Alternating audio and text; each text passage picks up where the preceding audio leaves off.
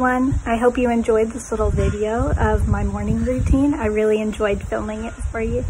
Um, I just wanted to give a little bit of commentary on some of the things that I filmed today. So this morning routine consisted of my routine from the time I get up in the morning until our homeschool time, which um, usually is about, uh, I would say nine o'clock. So um, this is everything I do to get ready um, up until we do homeschooling. So um, also breakfast uh, is not something that I do, but my kids do eat breakfast. Um, for, for my channel, I don't want to show my kids a whole bunch and um, also my husband feeds them breakfast before he gets going for the day. So um, you'll see me cleaning up from them uh, some of the stuff that they eat, their banana peels and they'll have like yogurt and stuff like that. So um, yeah, so I just wanted to give a little bit of